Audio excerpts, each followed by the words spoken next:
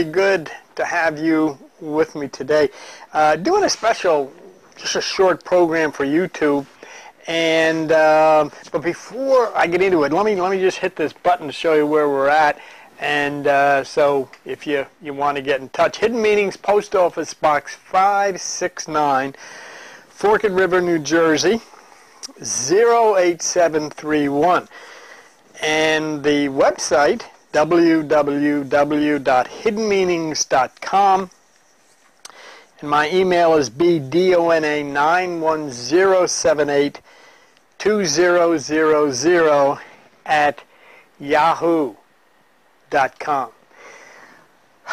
What I wanted to do was just spend a few minutes and try to take a look at the Bible, maybe in a, in a different way. You know, I, I've done this a uh, long time ago, but a lot of the I get a lot of mail from people on YouTube, and you know, it, it seems as though many of you have never heard some of the things I've done before.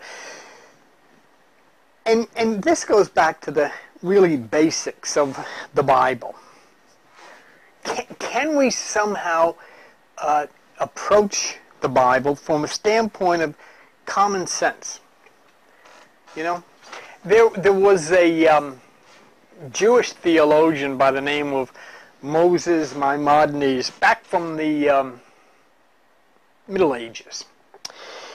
And he was a brilliant guy, and he said, whenever you see something in the Bible that, you know, really goes against your common sense, then stop there because the scripture's trying to show you something very important. And, and, and this is what I think we've missed. We, we've never acknowledged that the Bible is Greek mythology, which it is. It was written in Alexandria, Egypt in about 350 BC, both the Old and New Testament. And even even uh, uh, the Bible as we read it says, "Be not a minister of the letter." You can't take this stuff literally.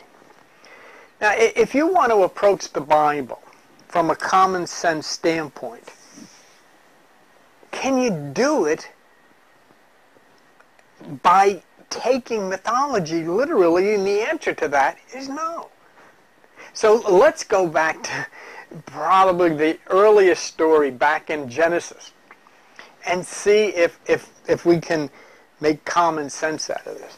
And the story goes that God took a rib out of Adam and made Eve. Right away, just ask yourself, does that make sense to me? Does that seem to be common sense? You could say, oh, well, God can do anything he wants, but you know that's not the way creation is. It's cosmic. It, it's subatomic. It's electrical. It's atomic. Now, if you look at the Adam and Eve story, the interesting part is the beginning of it really is Genesis 5, where it talks about saying God created human beings, people, male and female, and he called their name Adam. He didn't call them Adam and Eve. He called male and female Adam. Well, wouldn't that kind of suggest to you that maybe it's talking about A-T-O-M instead of A-D-A-M? Uh-huh. But if it is Adam, ATOM, right away, we're involved because that's what we are. I mean, we, we're all atoms. We're made of atoms. So we're all atoms, just like it says.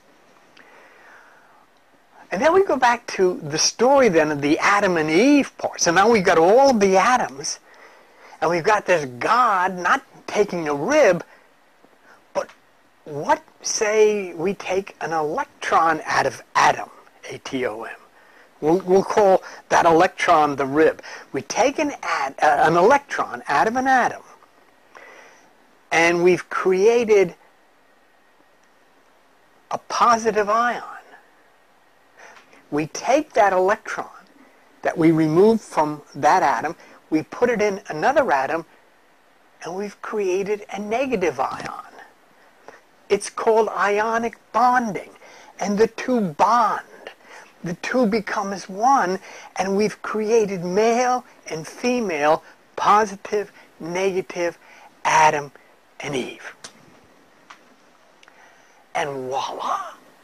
The story makes sense because what it was really telling us is that all life began with the splitting of the atom. Do you see? Do you see where if you, you, you don't take these stories literally, but you, you look at them and say, now, let me, let me use my common sense. I mean, you know, the same creator gave us a brain. And, and, and, you know, you say, well, why didn't they just say that in the beginning? And I'll tell you why. When the stories were originally written, of course, the human mind, brain had not advanced to the uh, point of uh, evolving to, into the realm of science so that people would understand uh, talking about atoms and, and, and ionic bonds and things like that. But this way, by placing that in the text, when the uh, race of humans had finally reached that point of evolving in intelligence scientifically, not only would they know that this was the story of creation, ionic bond, the splitting of the atom, but on top of that, we would know somebody wrote this thousands of years ago and was obviously thousands of years ahead of their time. So all of a sudden, we take one of the very early stories of the Bible, probably the earliest, and it becomes true. Life did begin with the splitting of the atom, with ionic bonding, with, with creation of positive, negative. And, and now we can sit and say, hey, this is scientifically correct. Well, what do you think?